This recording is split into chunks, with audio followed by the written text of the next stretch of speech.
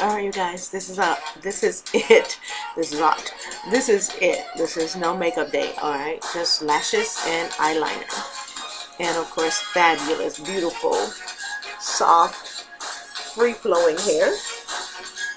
And I got it using my Nouveau, Wave Nouveau from Soft Sheen. And I sprayed a little bit of braid sheen spray, okay, to kind of give it a little life.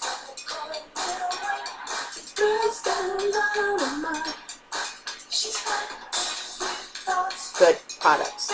Uh, this reminds me of Tracy Ross hair.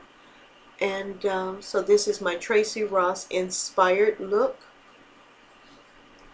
Of course, her hair is not as coarse. She has more of a curl than an afro puff. But this hair is absolutely gorgeous. I've gotten so many compliments on it. I went voting today and uh, I could not believe the pimp daddies out there trying to uh, you know pimp their line at the women that's coming out of the voting booth. But yeah that was funny. Uh, so ladies if you want to you know, find a guy, go vote. They're hanging out at the voting station, all right? But anyway, uh, when I, I, I washed the hair in just my Tresemme shampoo. And then I used the uh, Suave conditioner that I, that I have that smells so, so, so good. I love it. And I let that conditioner stay in the hair for like 15 or 20 minutes. I put a plastic cap over my head and then I rinsed the hair out in the shower and when I got out I just kind of towel dried my hair and then I applied the the Nouveau the Wave Nouveau into my hands and I put a good amount into my hands and just section my hair off into like four or five different sections and I applied that into the hair and uh, and then I braided the hair up and uh, and that's how I kept it overnight.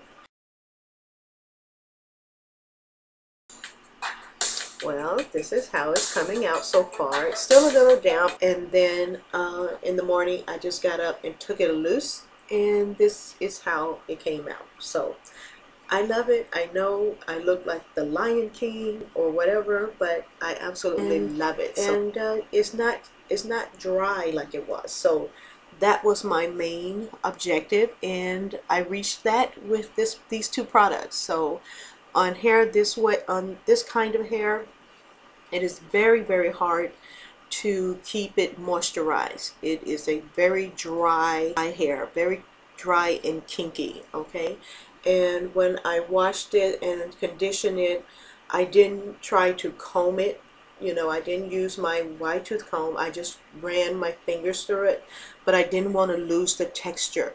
So that's the reason I didn't comb it with a comb or try to use my paddle brush because I didn't want to lose the beautiful texture of the hair. I wanted the the crinkles to stay in the hair. And so yeah this is how this hair looks I love it I love love love it so you have to apply products to this hair. Uh, it will dry out very easily, very quickly.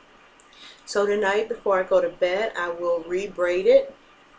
I'll put some more of my um, moisturizing lotion in it and then um, and then in the morning I'll get up and spray it down with my uh, braid sheen spray but for right now you guys I am in love with my Mufasa look. so I love it. Is it Mufasa? Mufasa. Yeah. Anyway, you guys know what I'm talking about. But I love this hair and uh, yeah, I wanted to come in and show you how it turned out because as you can see the hair is very light, very light and fluffy and just kind of flowy for afro curly hair and um, I think it did a wonderful job. I didn't want to lose my volume and I didn't, okay?